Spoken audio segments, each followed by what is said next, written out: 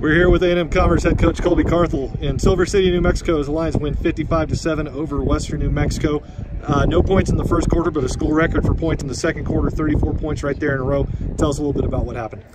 Yeah, we came out a little bit flat and, uh, you know, offensively and just uh, kind of shot ourselves in the foot a few times in that first quarter. And so uh, rolled in the second and kind of kind of came alive. Defense uh, set up a lot of those and special teams. I think we had, uh, three non-offensive touchdowns and had another interception return down the 10. So I don't know that I've ever seen, uh, I don't know what it was, 70 yards of offense, or 60 yards of offense and score 34 points, but we pulled it out somehow with uh, some short fields and some big time plays on defense. But, uh, you know, got, got rolling there and, and, played a lot better through the rest of the game, offense, defense, and special teams. So good to get out of here and get a win in Silver City. After last week where it felt like all three, none of the three phases worked as well as they should, it felt like they definitely did today, all three phases.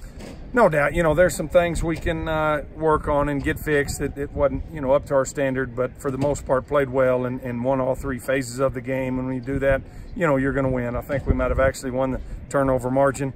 Uh, that might be a first time this year. So, uh, you know, when you do those kind of things, you're going to have some explosive quarters and, and, be able to put some games out of hand. And so hopefully uh, we can keep that going as we move forward.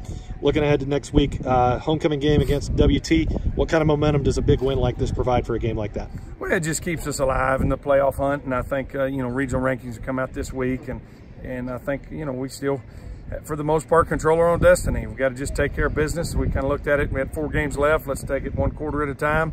Uh, games broke down to four quarter. We broke the end of our season down to four quarters. So we got won the first quarter here uh, on a long road trip. Thankfully, got to fly in, fly out, and and uh, we'll be uh, fairly rested coming into homecoming. But got to go out and uh, go one and zero oh this next week, and you know need a big crowd. I expect a big crowd. We've had some uh, bad weather, kept some people back so far, but be homecoming. Good weather and commerce. good opponent uh, should be fun this next Saturday. All right, Lions win 55 to 7 over Western New Mexico here in Silver City. Thanks a lot, Coach Carthel. I appreciate it. Go Lions.